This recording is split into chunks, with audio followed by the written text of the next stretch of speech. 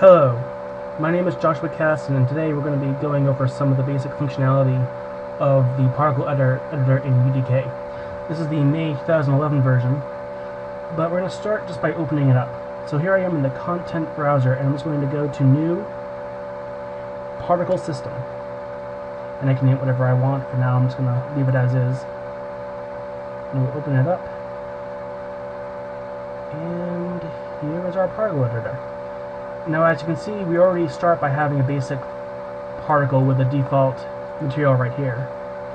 But before we get into that, I'm going to go over some of the basics of the toolbar at the top. So right here, this blue button will reset the sim, the simulation that's being run right here in the, in the particle editor itself.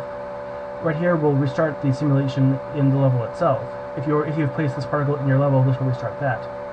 This will open up the content browser, so you can actually find something. This will be useful later on when you're trying to pick what material you like to place for this in. This will save the thumbnail of the image in the content browser. Um, orbit mode is simply used for a different functionality in the orbit menu.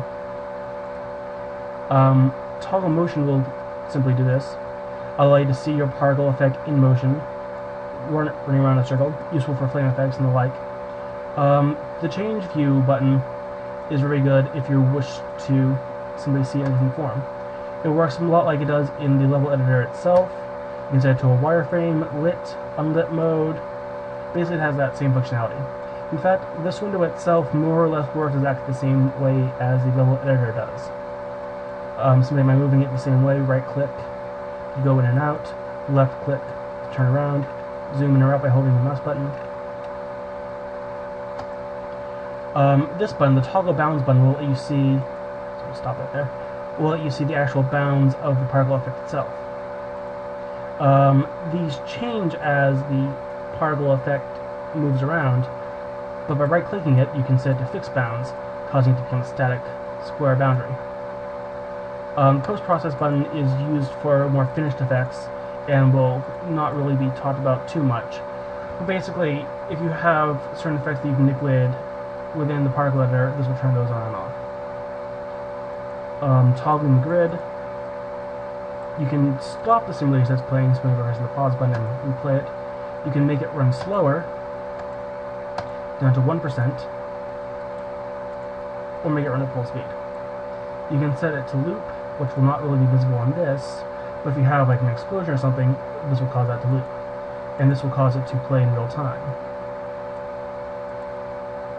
Um, you can affect the background color with this button.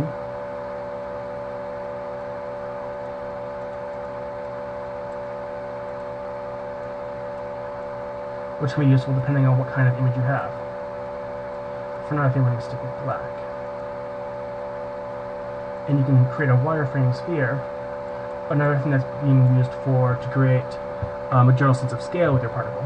So what this is, is it asks you what what is the radius of the sphere you wish to create, and it starts at 150 units.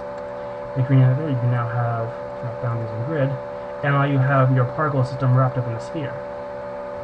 Now, these next two buttons are the undo and redo buttons. These work as they do in any other editor, and no need to go into too much detail. Um, these set of buttons, however, control the LOD. What LOD is, is say you have a particle system that you want to be able to view from far away, but you do not want it to show as much detail from a far distance. You can set to show different different things from different distances. That's what LOD is. So you want to add a new LOD here, you know, be able to move between and have a different setting at a difference that you can set in here. And that is basically the toolbar in a nutshell. Some of these things we're not using very much. Most of them generally affect how things are displayed in the preview window. Now we're going to be talking about these four windows right here. The preview window works much as it would in any other level editor. You have a grid, you can turn it on and off. Um, it displays it. It shows you what it looks like in game itself. You can pause it, you can play it.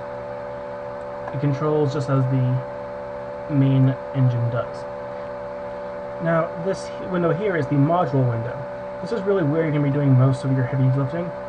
Um, the module window is basically where you'll have all the high-level controls to how your particle functions. Um, the way a particle actually is made is it essentially takes a single material from the content browser and then adds a bunch of modules to it. For instance, this module controls how many spawn.